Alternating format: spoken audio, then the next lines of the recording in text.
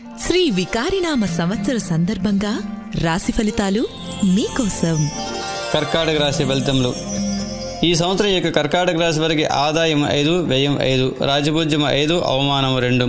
ఈ రాశి వారికి ఈ సంవత్సరం గురుడు ఉగాది నుండి రెండు వేల పంతొమ్మిది ఏప్రిల్ ఇరవై రెండవ తేదీ వరకు కూడా షష్టమ స్థానం సువర్ణమూర్తి తదుపరి వక్రమించే నవంబర్ నాలుగవ తేదీ వరకు కూడా పంచమన రజతమూర్తి తదుపరి సంవత్సరాంతం షష్ఠ స్థానం రజతమూర్తి. శని సంవత్సరం లగాయతు రెండు వేల ఇరవై జనవరి ఇరవై నాలుగవ తేదీ వరకు కూడా షష్టమన సువర్ణమూర్తి తదుపరి సంవత్సరాంతం సప్తమ స్థానం తామరమూర్తి. రాహుగేత సంవత్సరం అందు కూడా పన్నెండు ఆరు స్థానములందు రాసులందు రజతమూర్తులుగా ఉంటారు. ఈ రాశి వారికి రెండు వేల పంతొమ్మిది ఏప్రిల్ ఇరవై రెండవ తేదీ నుండి గురు సంచారంచే ఆర్థిక అభివృద్ధి ఎత్తన కార్యసిద్ధి ఆర్థికపరమైన లావాదేవీలు కలిసి వచ్చుట నూతన వ్యాపారంలో కలిసి వచ్చుట భూ గృహ స్థిరాస్తి కొనుగోలు నిమిత్తమే చేయు ప్రయత్నములు ఫలించుట జరుగును.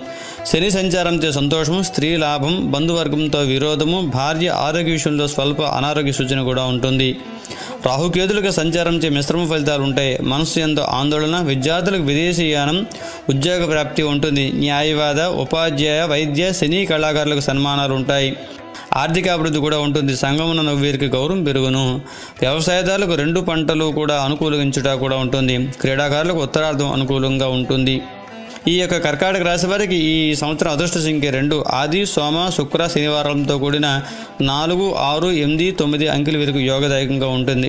కాలసర్ప దోష నివారణకు రాహుగేజుల దోష నివారణకు శ్రీకాళహస్తి ఎందు పూజ దుర్గాచండీ పారాయణ మంగళవారం నాడు గ్రామదేవత సందర్శన లలితా శాస్త్రం పారాయణ చేయడం ద్వారా మంచి అనుకూలంగా ఉంటుంది. శ్రీ వికారినామ సంవత్సర సందర్భంగా రాశి ఫలితాలు వింటున్నారు ఆన్ ఈఎఫ్ఎం మీ ఎఫ్ఎం